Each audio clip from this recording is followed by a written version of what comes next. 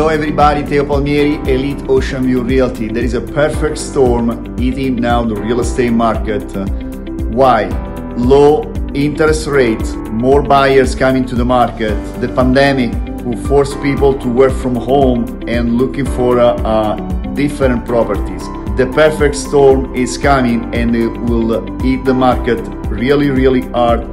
We will see a shift on the market next year, 2020, but this is a great time to buy and sell a property, especially here in Miami. If you want more information, please contact me, Teo Elite Ocean View Realty.